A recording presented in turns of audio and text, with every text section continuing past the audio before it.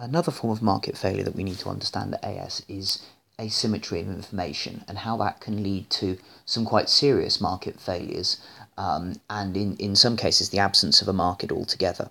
What do we mean by information asymmetry, first of all?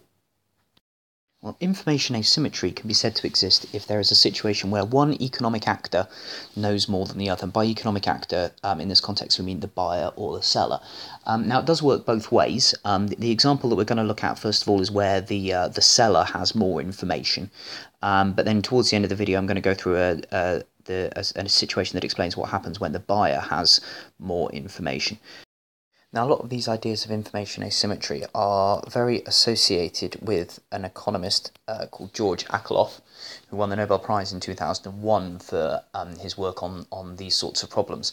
Um, there were a couple of other economists that, uh, that won the prize the same year, um, also for looking at, uh, at asymmetry, although they looked more at uh, uh, kind of at, at, how it could be dealt with and so on. So it, it was Akerlof who mainly looked at the problem of market uh, market failure caused by information asymmetry. And the uh, the example that he used in his work was to consider the market for used cars, and particularly uh, consider why uh, a used car, even if it's kind of a very new new used car, sold for so much less than uh, than a brand new car. So uh, we're going to run through the same example here. Um, it's known as Akerlof's lemons, um, and uh, and hopefully that will explain uh, what information asymmetry is and why it can cause market failure.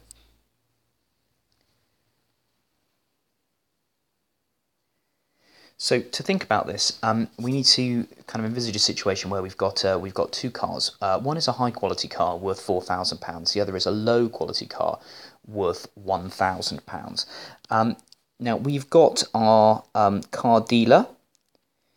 Uh, this is our dealer, okay, and obviously the dealer is the expert, so he knows he or she knows which car is which. So he he knows which car is the high quality car and which car um, is the low quality car. We also have our buyer over here. Now the buyer is not a car expert and so what that means is that actually the buyer is unable to tell which car is the high quality car and which car is the low quality car just by looking at them. So the information asymmetry here is that the dealer knows which car is which, the buyer is uncertain. And that's what generates the situation of information asymmetry. Let's have a look at how that plays out and how that can cause market failure. I suppose the important thing to just make clear here is that, uh, as we've seen already in economics, the buyer will be willing to buy the product if the value of the product uh, that uh, that the buyer perceives is greater than or equal to the price they have to pay. Obviously, then they're not going to buy a car if it costs them more to buy than uh, than they think it's worth. If there was no information asymmetry, if there was perfect information in this market, this would then simply come down to an informed choice by the consumer. Are they willing to pay more to get the high quality car, or are they essentially willing to take the chance um, with the low quality car because it's cheaper? Um, and that's a, that's a, a, a, straightforward rational decision down to the preferences of the consumer, and that will be fine. But what we really need to consider here is the impact that the information asymmetry has on the buyer's decision making and therefore the dealer's decision making in this process.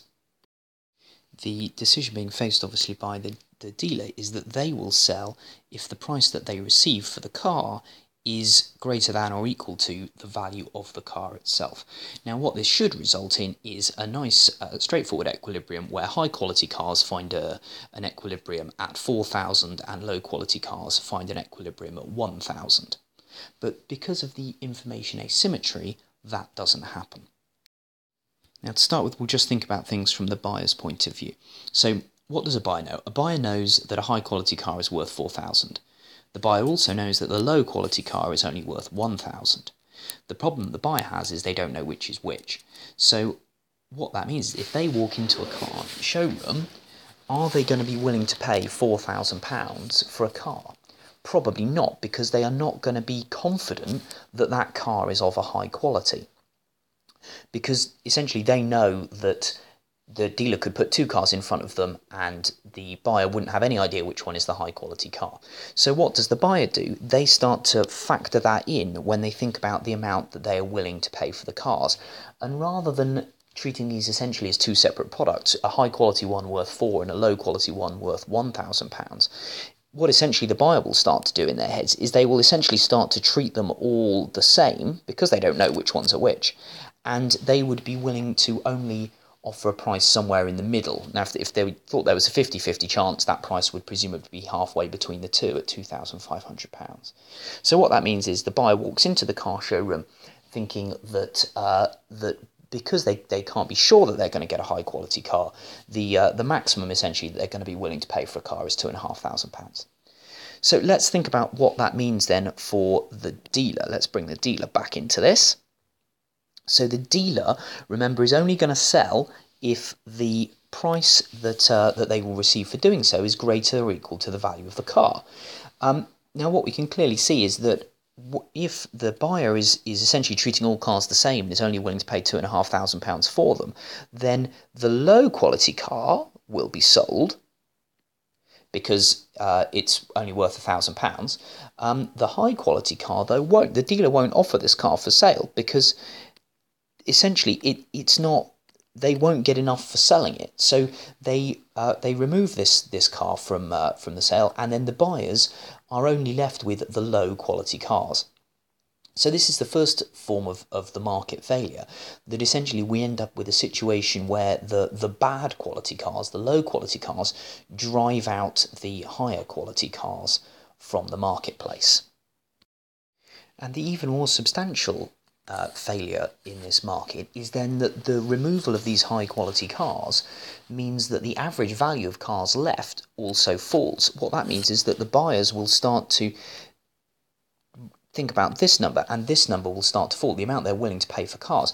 And what that means is the lower the amount they're willing to pay goes, the the more high and middle quality cars leave the market. And in the end, all we are left with for sale are the low quality cars. Um, which obviously the, the, the, buyers may well not want. So we've got essentially kind of two forms of market failure in operation here. One is uh, a relatively standard kind of allocative inefficiency, the fact that uh, there are there are high quality cars which could bring benefit to the consumers which aren't being uh, consumed. Um, the other market failure is that actually, uh, without some action, this could actually destroy the market because essentially what this will mean is that the the average quality of cars will just go down and down and down and down. And that's the nature of the market failure, which was um, put forward by George Akerlof.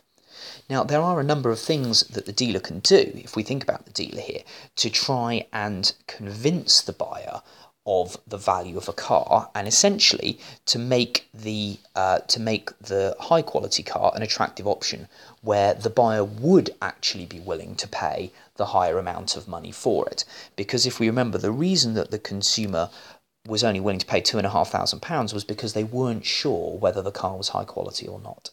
So how do dealers try and convince consumers that uh, that their cars are of high quality? Well, this is why they offer things like warranties um, or extended service agreements, um, things like that, where basically they are trying to offer the buyer something which will convince them that uh, that the car being offered is of high quality and therefore that uh, that it's worth paying more money for. Because of course it's not in the dealer's interest to have a high quality car sat there that they can't sell. So the dealer wants to sell these cars for four thousand pounds. What they need to do though is convince the buyer that uh, that that it's essentially worth that money. So dealers.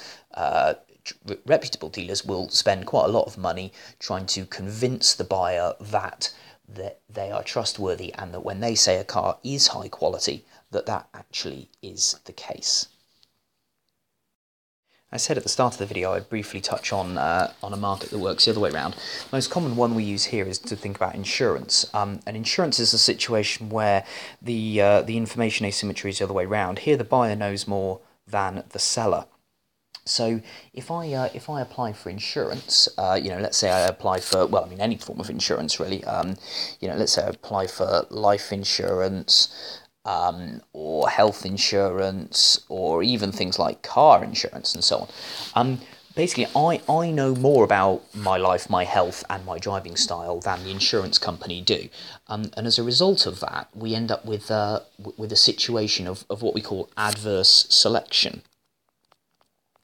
And this essentially means that only the people most likely to need the insurance will actually end up paying for it. Because if all people had to pay the same premiums, then essentially, if if I knew that uh, you know that I was a very healthy person, um, I looked after myself and I drove very carefully, I wouldn't be willing to pay the higher premiums to compensate for those people that weren't. So my choice would then probably be not to have insurance. But that would then cause the same problem as before, because that would mean that the only people who did want insurance were the people who who didn't look after themselves and who didn't drive carefully. And again, that would cause the destruction of the market, because ultimately the only people left getting insurance would be those people who are almost guaranteed to need it. And under those circumstances, the insurer simply wouldn't offer the insurance in the first place. So uh, again, how how do we get around this? Well, uh, in most countries, well, in all countries really, there are laws which dictate the information that you must give uh, when you are applying for insurance. And if the insurer asks you a question, you must answer it honestly. And doing that hopefully will enable the insurance company to identify who are the people at high risk, who are the people at low risk, and then offer them premiums which accommodate for that fact. So really what, what in both cases here, what uh, the solution is to these information gaps is to try and provide the uh, the buyers and sellers with enough information to view them as two separate markets, the high quality and the low quality. If they can be given enough information to view them as two separate markets and have confidence that they're looking at them as two separate markets, then the information asymmetry uh, market failures should go away because people will be willing to pay the price which is requested.